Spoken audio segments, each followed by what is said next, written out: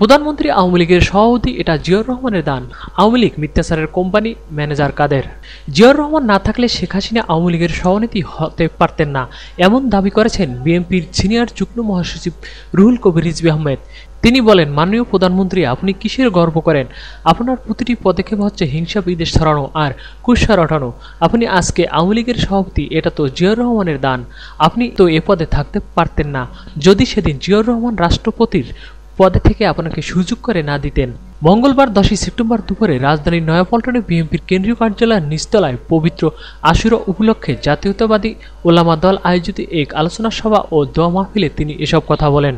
এ সময় আওয়ামী লীগ এবং দলটির সভাপতি প্রধানমন্ত্রী শেখ হাসিনা ও সাধারণ সম্পাদক অবাদুল কাদেরের কঠোর সমালোচনা করে রিজভি বলেন, আওয়ামী লীগ হচ্ছে মিথ্যাচারের কোম্পানি আর মিথ্যা কোম্পানির চেয়ারম্যান স্বয়ং প্রধানমন্ত্রী শেখ হাসিনা।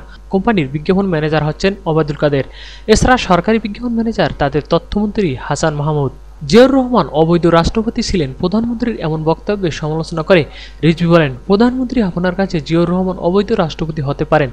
কারণ ডাকাতরা যখন কারও বাড়িতে ডাকাতি করে, তারা কি বলে, আমরা অবৈধ কাজ করছি।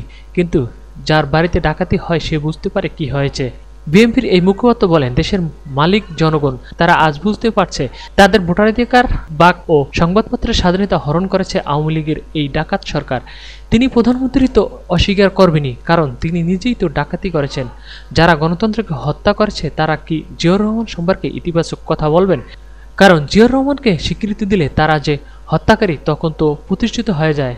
ওলামা দলের সাধারণ সম্পাদক মাওলানা নিসারুল হকের সঞ্চালনায় আলোচনা সভা ও দোয়া মাহফিলের সংগঠনের সদস্য সচিব মাওলানা নজরুল ইসলাম, তাঁতি দলের যোগ্য আহ্বায়ক ডাক্তার কাজী মনিরুজ্জামান মনির ওলামা দলের কেন্দ্রীয় নেতা শাহ মোহাম্মদ মাসুম বিল্লা সহ ওলামা ও বিএনপির নেতাকর্মীরা যোগ দেন।